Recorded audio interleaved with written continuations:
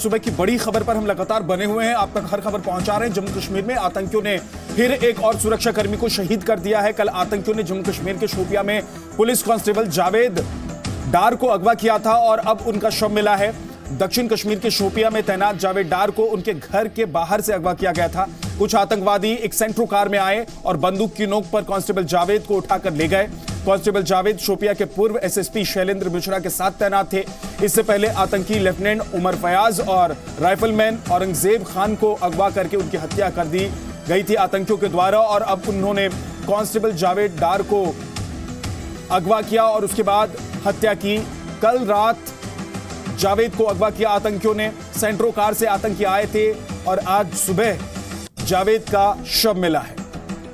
जी media संवाददाता खालिद हुसैन हमारे साथ एक बार फिर से जुड़ गए हैं। खालिद, एक बार पूरी जानकारी दीजिए, किस वक्त अगवा किया गया और शव कहाँ मिला, कैसे मिला, किस हालात में मिला?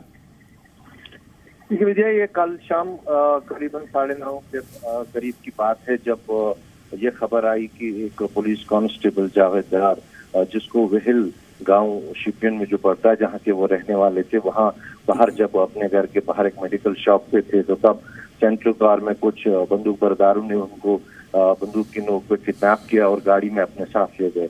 तुरंत उसके बाद कोऑर्डिनेट सर्च ऑपरेशन जो है लॉन्च किए गए। पूरे इलाके में जगह जगह तलाशी शुरू कर दी गई, नाकाबंदी की गई। लेकिन कुछ ही देर बाद उनकी एक पिक्चर भी वायरल हुई, जिसमें लगा कि उनको इंट्रोगेट किया जा रहा है। और उसके बाद तलाशी अभियान रात भर चलता रहा, लेकिन सफलता नहीं मिली। आज सुबह वेहल के अगर हम करीबन बात करें तो मलिकपुरा जो इलाका है, कुलगाम का जो बॉर्डर डिस्ट्रिक्ट है शिपियन और कुलगाम का बॉर्डर लाइन है, वहाँ पर उनका शव मिला। जिसके बाद शव को और स्थानीय लोगों ने वहाँ पर देखा सुबह सुबह और उन्होंने पुलिस को इतला की। पुलिस वहाँ पर पहुँची और उन्होंने शव को अपने व्हील में ले लिया और लीगल फॉर्मेलिटी शुरू कर दी गई है। परिजनों को भी इस बारे में सूचित कर दिया गया है।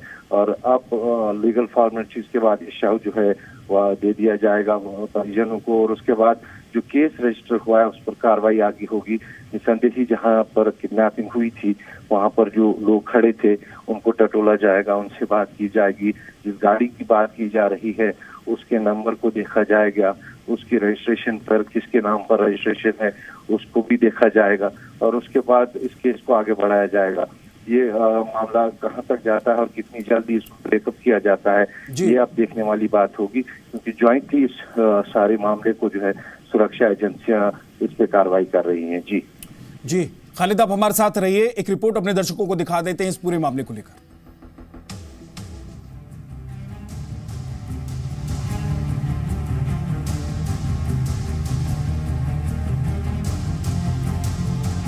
बुरहान गैंग को देशभक्त मुसलमानों ने मिलकर खत्म किया था। यही वजह है कि अब कश्मीर में आतंकवादियों के निशाने पर हैं स्थानीय लोग जो सेना और पुलिस में शामिल होकर देश को आतंकवाद से छुटकारा दिलाना चाहते हैं।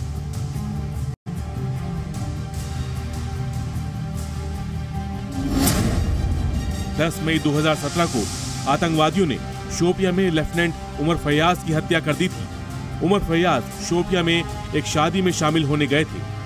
9 और 10 मई की रात आतंकवादियों ने उमर फयाज को अगवा किया। आतंकवादियों ने उन्हें पहले बुरी तरह से पीटा बाद में हत्या की। कुलगाम के रहने वाले उमर 2016 में सेना में शामिल हुए थे। आतंकवादी अब कश्मीर के सच से डरे हुए हैं। जम्मू कश्मीर पुलिस के जाबाज अफसर फिरोज अहमद डार को भी आतंकवादियों ने मारा था। 16 जून 2017 को आतंकवादियों ने इंस्पेक्टर फिरोज अहमद डार की हत्या की। आतंकियों ने फिरोज अहमद डार की गाड़ी पर हमला किया था। इसके बाद हमला हुआ श्रीनगर के बीचों बीच, जब डीएसपी अयूब पंडित की पीट पीट कर हत्या कर दी गई। 22 जून 2017 को रमज़ान के दौरान डीएसपी अयूब पंडित को भीड़ ने घेर लिया। वो श्रीनगर के नौहट्टा में जामिया मस्जिद के बाहर तैनात थे और अलगाववादियों के उकसावे पर भीड़ ने अयूब पंडित को पीट पीट कर मार डाला। वहीं आतंकवादी समीर टाइगर के एनकाउंटर में शामिल रहे।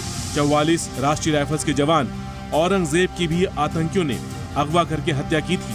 वो पुंछ के रहने वाले थे। 14 जून 2018 को आतंकियों ने राइफलमैन औरंगज़ेब को शोपिया से अगवा किया और बाद में उनको मार डाला। जब औरंगज़ेब का पार्थिव शरीर उनके घर पुंछ पहुँचा था, तब उनको श्रद्धांजलि देने पहुँचे लोगों की भीड़ देखकर आतंकवादी घबरा गए होंगे। ये कश्मीर की ताकत है जो हिंदुस्तान के साथ है। शहीद औरंगज़ेब का शव पुलवामा में मिला था। औरंगज़ेब की शहादत की कीमत खुद army chief general Bipin Rawat ने समझाई। जब उनके घर पहुँच गए, उनके परिवार से मिलकर बताया कि पूरी सेना पूरे देश को औरंगज़ेब की शहादत पर नाज है। इसके बाद रक्षा मंत्री निर्मला सीतारमन भी औरंगज़ेब के घर गई थी। साफ़ है कि अब आतंकवादी कश्मीरियों को मिल रहा सरकार का साथ देखकर परेशान है। वो सॉफ्ट टारगेट पर हमला कर रहे हैं। यानी उन नौजवानों पर हमला कर रहे हैं जो स्थानीय हैं और भारतीय सेना के साथ bureau report, Zee media. Zee media, Krishna media संवाददाता कृष्ण मोहन मिश्रा हमारे साथ जुड़ गए हैं। सीधे उनका रुख करते हैं। कृष्ण मोहन एक और सुरक्षा कर्मी को अगवा कर लिया आतंकियों ने और उनकी हत्या कर दी। विद्या सवाल दोहराएँगे। एक और सुरक्षा कर्मी को अगवा कर और ठीक उसी तरीके से जैसे औरंगज़ेब की हत्या की गई थी इस सुरक्षा कर्मी की भी हत्या कर दी गई है जावेद की। यहाँ अभी जो खबर आ रही है उससे तो जिस चीज़ की आशंका थी उससे साबित कि जब कल रात को अपहरण हुआ था तब इस चीज़ की आशंका हो रही थी कि शायद इनका भी राष्ट्रीय आतंकवादी औरंगज़ेब की ही तरह करे क्योंकि आतंकवादियों के लिए हर वो आदमी दुश्मन है। चाहे वो कश्मीरी हो, चाहे वो बाहर का जो कि सुरक्षा कर्मी की वर्दी में है, जो कि राष्ट्र की मुख्य धारा के साथ है, जो कि दरअसल कश्मीरियों की ही सुरक्षा के लिए काम कर रहा है, लेकिन, और वही आतंकवादियों का दुश्मन है। विद्या। कृष्ण मोहन, ऐसा लग रहा है जैसे आतंकियों ने अपनी स्ट्रेटजी बदल दी है, और अब वो सीधे मुकाबला नहीं करके सुरक्षा कर्मियों को अगवा करना, उनकी हत्या करना, और इस तरीके से एक दबाव बनाना, डर पैदा करने की कोशिश कर रहे हैं। आतंकवादी सीधे मुकाबला करने में तो हमेशा से ही डरते हैं और सीधे मुकाबले से वो हमेशा हमेशा कतराते हैं क्योंकि मालूम है कि अगर सीधा मुकाबले में तो सुरक्षा बलों के सामने उनका टिकना नामुमकिन है। तो इस तरह से वो अगर अकेले कहीं पे कर, पर कहीं पर भी कोई सुरक्षा कर्मी मिलता है तो उसकी हत्या करते हैं। छुट्टियों पर गए फौजियों की हत्या की गई थी लेफ्टिनेंट ओपर फैयाज की हत्या की गई थी वो भी अकेले अकेले थे और छुट्टियों पर अपने घर गए थे। इसीलिए बड़े स्ट्रिक्ट जो इंस्ट्रक्शंस है एसओपी है स्टैब्लिश किए गए हैं कि इस तरह से सुरक्षा कर्मी छुट्टी पर घर जाएँगे। लेकिन सेना के लिए तो ये कुछ हद तक मुमकिन ही हो पाता। पुलिस के लिए बहुत मुश्किल होता है क्योंकि पुलिस वाले उसी इलाके में हमेशा रहते हैं और उनको पहचाना जा, जा सकता है। कृष्ण मोहन मैं आपको रोक रहा हूँ। बीजेपी नेता रविंद्र रैना हमारे साथ जुड़ गए हैं। रविंद्र रैना एक महीने के भीतर दूसरे सुरक्षा कर्मी को अगवा कर आतंकी उनकी हत्या कर देते हैं। जिस तरीके से सेना और पुलिस के जवानों ने कश्मीर घाटी के अंदर आतंकवाद के खिलाफ एक अभियान चलाया है और बहुत सारे आतंकवादियों को मौत के घाट उतार दिया गया है। वहीं कहीं ना कहीं एक षड्यंत्र और साजिश के तहत जावेद जार जो जम्मू कश्मीर पुलिस के एक बहादुर जवान थे हमारे, उनको किडनैप किया गया और कि जिस तरीके से उनकी हत्या की गई, बहुत ही निंदनीय और दुखद है। लेकिन ये जो सेना के ऑपरेशन और पुलिस के ऑपरेशन जॉइंट ऑपरेशन कश्मीर घाटी में खासकर शोपियान में चल रहे हैं ये रुकने वाले नहीं है और ये ये घटना इस घटना के बाद और कड़ा प्रहार आतंकवादियों के ऊपर कर, करेंगे। ये घटना आतंकवादियों के लिए काल बनकर आएगी और आतंकवादियों को किसी कीमत पर भी ज़िंदा नहीं रहने दिया जाएगा। कभी कभी जब सियासी तौर पर एक डिसीज़न लिया जाता है रविंद्र रैना कि हम ईद के दौरान, हम नमाज़ के दौरान, हम फलाना डेट से फलाना डेट तक गोली नहीं चलाएँगे, आतंकियों को नहीं मारेंगे, आतंकियों के खिलाफ कोई ऑपरेशन नहीं करेंगे और उसका फ़ायदा उठा लेते हैं आतंकी। देखिए, एक प्रयास हमेशा रहता है कि जम्मू कश्मीर के अंदर, खासकर कश्मीर घाटी के अंदर शांति बहाली प्रक्रिया ठीक की जाए, शांति बनाई जाए, कानून व्यवस्था ठीक और आम जनमानस जो है कश्मीर का आम कश्मीर की जनता तो हिंदुस्तान के साथ है। ये चंद जो किराए के, ये कुछ ये मिसक्रिएंट्स हैं, जो पाकिस्तान के इशारों पर नाचते हैं, जिन्होंने दुकानें सजा के रखी हैं, इनको भी एक्सपोज करना है। आम जनता तो हिंदुस्तान के साथ है। आम जनता ईद के दिन नमाज़ अदा करे, त्योहार बनाए इसके लिए केंद्र सरकार की एक पहल थी, लेकिन आतंक के लिए नहीं थी। आतंकवादियों की कमर तोड़ना, आतंकवादी दरिंदे हैं राक्षस प्रवृत्ति के ये लोग हैं इनको शांति बहाली से क्या लेना देना? इनको एक ही काम है चुन चुन कर इनको मौत के घाट उतारना। ये रावण की लंका के राक्षस हैं इनका वध करना हमारे लिए अनिवार्य है और हम इन सबका वध करेंगे इनको छोड़ेंगे नहीं। रविंद्र रैना सरकार में रहते हुए कुछ बड़े फैसले अगर आप लोग जम्मू कश्मीर में कर लेते तो शायद ये दिन नहीं देखना पड़ता। देखिए जब कुछ गठबंधन सरकार की अपनी कुछ परेशानियाँ थी। अगर बीजेपी की अपनी फुल फ्लैट सरकार होती तो हमको ये शायद दिन नहीं देखने पड़ते। इसलिए तो हमको गवर्नर रूल लगाना पड़ा। अभी जम्मू कश्मीर में सत्ता में अगले असेंबली इलेक्शंस को तीन साल बचे हैं। तीन साल पहले ही सत्ता से बाहर आकर हमने ये सिद्ध किया, हमारे लिए देश महत्वपूर्ण है आतंकवादियों का सफाया करना। कानून व्यवस्था को बहाल करना और आम जनमानस को तो क्या लोग इस बात का इंतज़ार करें और हमने कि सेंटर में तो आपकी सरकार पूर्ण बहुमत में रही। जम्मू कश्मीर में भी आपकी सरकार आए पूर्ण बहुमत में तो जाके आतंकियों का सफाया होगा। मैं आपको गारंटी देता हूँ कि जब से यहाँ राज्यपाल शासन लगा है पिछले डेढ़ महीने से कश्मीर घाटी के अंदर पत्थरबाज की घटनाएँ हो आतंकी घटनाओं में बहुत हद तक कमी आई है। हालाँकि दुश्मन साजिश करता है दुश्मन की कोशिश है कि कहीं ना कहीं इस प्रकार के नौजवान जो कश्मीर घाटी के, खासकर कश्मीर घाटी के वो मुसलमान जो आज भी जम्मू कश्मीर पुलिस और भारतीय सेना सीआरपीएफ एसएसबी में काम करते हैं, उनको टारगेट किया जाए और इस प्रकार के षड्यंत्र साजिश करते हैं, लेकिन इन साजिश करने वालों को हम छोड़ेंगे नहीं। रविंद्र रैना आज आप गारंटी देने की बात कर रहे हैं। गारंटी तो आप तब भी दे रहे थे जब पीडीपी के साथ सरकार बना रहे थे लोग विरोध कर रहे थे। लोग कह रहे थे पीडीपी के साथ आपका गठबंधन हो नहीं सकता। आप जिस गठबंधन के साथ सरकार चलाना चाहते हैं चल, चाहते थे वो विफल हो जाएगा। लेकिन आप तब भी चले गए। उस वक्त भी गारंटी दी वो गारंटी तो फेल हो गई आपकी। उस दौर के अंदर भी कश्मीर घाटी के अंदर 619 आतंकवादियों को मौत के घाट उतारा गया था। जम्मू कश्मीर सरकार ने उतारा था क्या? आतंकवाद के प्रति कोई सॉफ्ट नीति या कोई सॉफ्ट हमारा कॉर्नर नहीं है। उस दौर में भी पाकिस्तान के खिलाफ सर्जिकल स्ट्राइक हुई। उस दौर में भी जहाँ कहीं भी सिर उठाने की कोशिश की है, इन लोग दरिंदों ने उनको दबाया गया। और जब गवर्नर रूल आ गया तो हमारे लिए सिंगल लाइन एडमिनिस्ट्रेशन है। हमारे लिए काम करना और आसान है। और इस दौर के अंदर आप देखेंगे, हालाँकि ये जावेद अहमद डार, जिनकी हत्या कर दी गई, बहुत ही निंदनीय दुखद है। लेकिन जावेद अहमद डार साहब के कातिलों को जल्द मौत के घाट उतार दिया जाएगा ये बच नहीं सकते। रविंद्र रैना ऐसी बात औरंगज़ेब की हत्या के बाद भी कर रहे थे तमाम सियासी दल के नेता और आप लोग भी कर रहे थे। लेकिन देखिए एक और आ, सुरक्षा कर्मी को अगवा कर आतंकी वो उसको मौत के घाट उतार देते हैं शहीद कर देते हैं। जी हाँ वो मूलतः उस क्षेत्र के रहने वाले हैं और घर गए थे। हालाँकि एक सिक्योरिटी अलर्ट है कि उस क्षेत्र के रहने वाले क्योंकि वो वहाँ बहुत सारी गतिविधियाँ आतंकवादियों की चलती हैं और छिप के रात के अंधेरे में इस प्रकार की वो कभी कभार अपना जो षड्यंत्र करते हैं उसमें वो विफल हो गए। बहुत ही दुखद रहा नहीं होना चाहिए था। हमको इसका भारी दुख है। लेकिन सूद समेत सूद समेत हम आतंकवादियों से इसका बदला लेंगे, छोड़ेंगे नहीं। वो सेना सेना का काम है, वो सेना कर लेती है, लेकिन राजनीतिक मंशा जो दिखाई देती है बीच बीच में आप लोग जिस तरीके डिसीज़न लेते हैं और पीडीपी जैसे एक पार्टी के साथ गठबंधन कर लेते हैं, वादा करते हैं कि हम मज़बूत सरकार देंगे, आतंकियों को उखाड़ फेंकेंगे और उसके बाद फिर उस पार्टी को छोड़कर अलग होते हैं और फिर बड़ी बात करते हैं। लोग विश्वास कैसे करें रविंद्र रैना? नहीं, वो एक प्रयास था। जी, वो एक प्रयास था उस दौर के अंदर, क्योंकि भारत एक लोकतंत्र देश है, डेमोक्रेटिक कंट्री है, पूरी दुनिया के अंदर भारतीय लोकतंत्र की जय जयकार है पहचान है।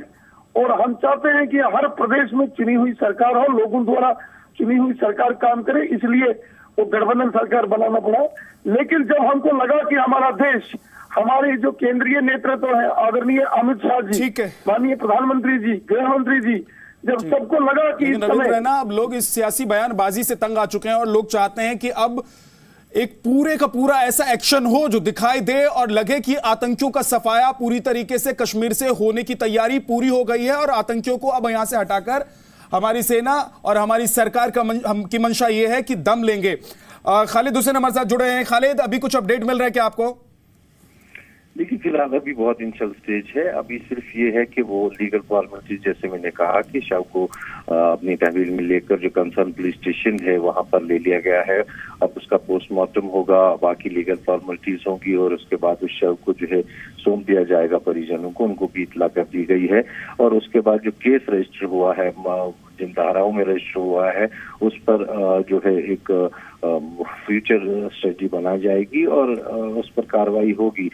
तमाम उन तत्वों को टटोला जाएगा जो इस केस से जुड़ी है किडनैपिंग से लेकर हत्या तक के जितने भी केस तत्व हैं, उनको टटोला जाएगा, उन पर काम किया जाएगा। और उसके बाद जो है आगे की कार्रवाई शुरू की जाएगी। निसंदेह पहले आइडेंटिफिकेशन की जाएगी कि आखिर ये जो लोग हैं जिन्होंने किडनैप किया है वो कौन है और वो, वो क्या मंशा थी किडनैपिंग की और ऐसा क्यों हुआ कि अगर एस कोई दिए गए हैं सिक्योरिटी फोर्सेस को कि वो कैसे अपने घरों में रहें कैसे निकलें कैसे चलें जब छुट्टी पे हों वो पहले से ही जारी कर दिया गया है। तमाम सिक्योरिटी विंग्स की तरफ़ से, चाहे सीआरपीएफ हो, सेना हो बीएसएफ हो, या फिर जम्मू कश्मीर पुलिस हो, खासकर उन लोगों के लिए जो कश्मीर के रहने वाले हैं। तो उनको फॉलो क्यों नहीं किया जा रहा है? उस पर स्ट्रिक्टनेस होगी। और जैसा कि औरंगज़ेब के बाद जो बात सामने आई थी, सेना ने क्लियर कट इंस्ट्रक्शन दिए थे कि किसी भी प्राइवेट व्हीकल को बोर्ड नहीं किया जाएगा। विदाउट सिक्योरिटी कैंप से बाहर नहीं निकला जाएगा। ये सब बातें पहले भी जम्मू कश्मीर पुलिस अपने जवानों को भी बोल चुकी है कि जब भी वो घर जाए तो कंसर्न पुलिस स्टेशन को पता होना चाहिए कंसर्न कैंप्स को पता होना चाहिए, उनकी मूवमेंट्स जो है वो कैसे होनी चाहिए। तो उन सब बातों पर ज़्यादा ध्यान अब होगा क्योंकि जिस तरह से किडनैपिंग और किलिंग के मामले बढ़ रहे हैं तो इन लोगों को और प्रेशराइज किया जाएगा कि वो उन एस को पूरी लेटन स्प्रिट में फॉलो करें। ताकि इन गतिविधियों को जो है रोका जा सके क्योंकि अगर खुलेआम आप निकलते हैं इन इलाकों में जो वनरेबल है तो ऐसी घटनाएँ पेश आती हैं। तो ये सब बातें जो है इन पर भी कार्रवाई होगी। इन्हें सुरक्षा बल जो है चाहेंगे कि ऑन ग्राउंड इम्प्लीमेंट हो हर वो जवान जो सिक्योरिटी फोर्सेज से जुड़ा है वो इन एस का फॉलो करे ताकि ऐसी घटनाएँ न हो। जी। दक्षिण कश्मीर के शोपिया में तैनात जावेद डार को उनके घर से बाहर से अगवा किया गया। कुछ आतंकी एक सेंट्रो कार में बैठकर आए थे। बंदूक की नोक पर कांस्टेबल जावेद को उठाकर ले गए। कांस्टेबल जावेद शोपिया के पूर्व एसएसपी शैलेंद्र मिश्रा के साथ तैनात थे। इससे पहले आतंकवादी लेफ्टिनेंट उमर फयाज और राइफलमैन औरंगज़ेब खान को अगवा करके उनकी हत्या कर दी गई थी। और अब कांस्टेबल जावेद डार की हत्या की गई है। ठीक उसी तरीके से जैसे इससे पहले दो सुरक्षा कर्मियों को अगवा कर उनकी हत्या की गई थी। अब एक बार फिर से आतंकियों ने ठीक उसी तरीके से साजिश को अंजाम दिया है। आतंकियों ने जावेद को उनके घर के पास से अगवा किया। जावेद घर के पास ही एक दुकान में कुछ सामान लेने के लिए गए हुए थे।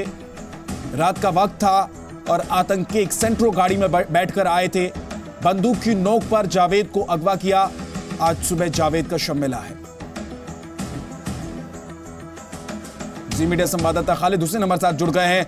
खालिद डेड बॉडी अब क्या पुलिस अपने कब्जे में लेकर और आगे की जो प्रक्रिया होती है, वो शुरू कर चुकी है? बिल्कुल देखिए डेड बॉडी अब जो है पुलिस कस्टडी में है और परिजनों को भी बता, बुला लिया गया है और जैसा कि प्रोसीजर होता है, पहले पोस्टमार्टम होगा, ज़्यादा वो देखा जाएगा कि बॉडी को कैसे वो कैसे मार दिया गया है, कहाँ पर कितनी गोलियाँ लगी है, वो सब डिटेल कलेक्ट की जाएँगी और उसके बाद लीगल फॉर्मेलिटीज के बाद इनको हैंड ओवर किया जाएगा लास्ट राइट्स के लिए परिजनों को।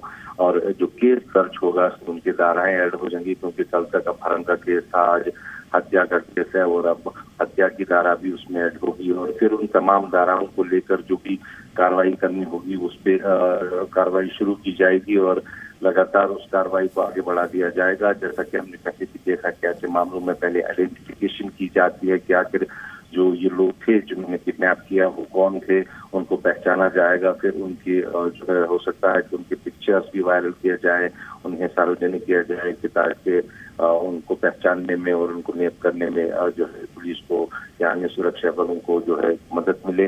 तो ये सब बातें की जाएँगी फ़िलहाल, लेकिन इनिशियल स्टेज है। अभी बॉडी को रिकवर किया गया है लीगल फॉर्मेलिटीज हो रही है। हालाँकि कल शाम से ही अपहरण करके दर्ज किया गया था और तलाशी अभियान भी शुरू किया गया था। रात भर चला, लेकिन उसमें कोई सफलता नहीं मिली सुरक्षा बलों को। लेकिन इसमें जो मेन मुद्दा है, वो यही है कि जो मैं पहले भी कह चुका हूँ कि जो स्टैंडर्ड ऑपरेटिंग प्रोसीजर्स हैं एसओपीज हैं, जो सुरक्षा कर्मियों को इन इलाकों में बताई गई हैं कि वो जब घर जाते हैं छुट्टियों पे कैसे रहना है, कैसे मूवमेंट करनी है, वो उन सब बातों को अब सुरक्षा एजेंसियाँ जो है सख्ती से जवानों को बताएँगे कि वो इनको उबे करें ताकि ऐसी घटनाएँ हो ही ना पाए और ऐसे जो है लोग किडनैप हो ही ना सकें। जी।